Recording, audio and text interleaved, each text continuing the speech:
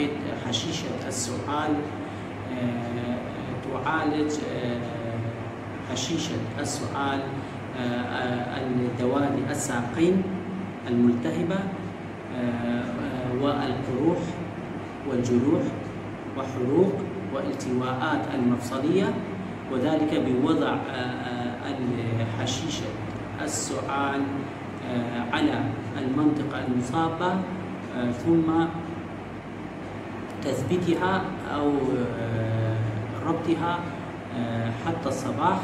تغيرها صباحا ومساء لمدة أربع أسابيع. نعم. فهو مفيد أيضا لقروح القدمين لمعالجة قروح القدمين. نعم. وذلك بوضع أوراق السعال حشيشة السعال على المنطقة المصابة. ثم ربطها بضماد وحتى الصباح وفي المساء تغيرها يعني صباحا ومساء لمدة أربع أسابيع. نعم. وأيضا يعالج السعال. يعالج السعال باستخدام تبخير حشيشة السعال فهو مفيدة لمعالجة السعال.